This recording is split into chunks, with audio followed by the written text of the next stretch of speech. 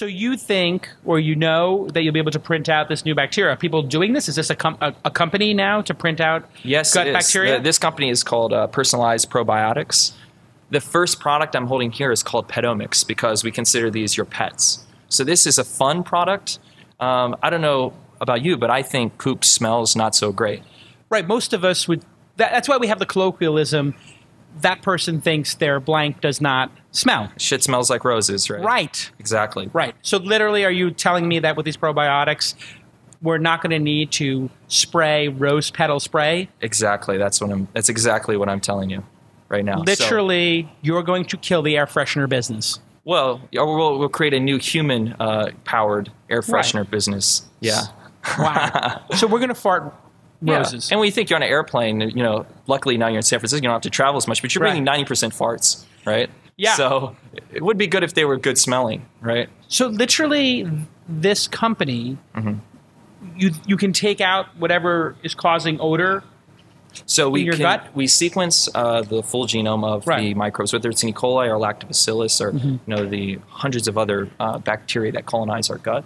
Uh, we can see sequences that result in uh, smell. Hmm. Uh, it's not always possible to remove them because they're critical to the functioning of it, but you can also put in things that will break down that bad smell produced by those genes. You can also put in inside any smell that you want. All smells that we smell on planet Uh-huh. Earth are genetically encoded in the DNA.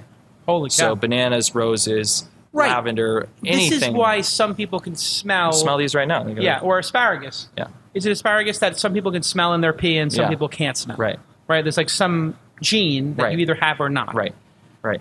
It's all genetically encoded. So Fascinating. The first two products, uh, one is called Banana Breeze, and the other is called Minty Winds. Minty wins. Yes. Wow. Yeah, So brilliant. yeah, We can all guess what that means. yeah. So you can see what's coming, smell what's coming out of that. Smell. Uh, it smells kind of like um, the artificial banana Yeah, it does. because it's that's exactly what it is. And it's funny that artificial banana smell is produced in this microorganism for production already. We're just taking it and putting it inside of the gut of living organisms. Drink that. yeah, you could drink it right now. I, I'm not drinking it, but I I might drink it actually. We do shots of banana.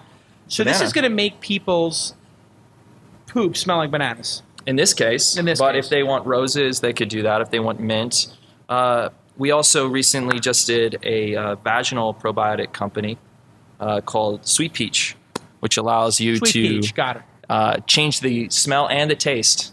Uh, also, be useful for things like uh, urinary tract infections, Ah, yes. um, yeast infections. I've got like a million jokes right now. I'm not going to go there, but When we- basically, when, we, when we watch the commercials, maybe you're can, saying uh, that tell some jokes. the taste, you could change the taste of a vagina. yeah, exactly. And you're coming up with these ideas, or people are pitching you on these ideas? So Or- these initial ideas were all ideas that I would come up with friends sitting around, Yeah. like, "Hey, wouldn't that be kind of messed up or Right. cool? Like if we did this, or hey, what if we did that?" Right. And it was usually a joke, uh, and then we were like, "Well, let's see how far we can go with it."